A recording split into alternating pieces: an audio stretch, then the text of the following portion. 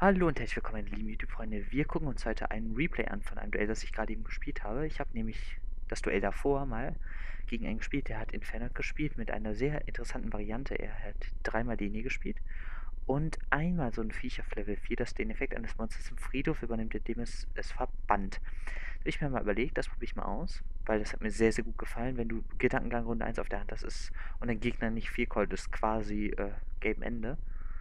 Und ähm, ja, exakt dieses Monster und das habe ich dann auf den Friedhof geschickt. Das aktiviere ich dann Effekt.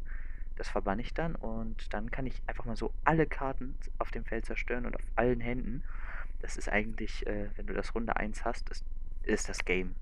Je nachdem, gegen welches Deck du spielst. Und das hat mir so gut gefallen, so viel stärker als Decatron in der Engine, dass ich mir gedacht habe, das probierst du mal aus. Und natürlich geht das nicht jede Runde und hatte auch keine Lust, das mal jede Runde äh, zu kommentieren. Deshalb habe ich jetzt einfach nur das auf diese Weise gemacht und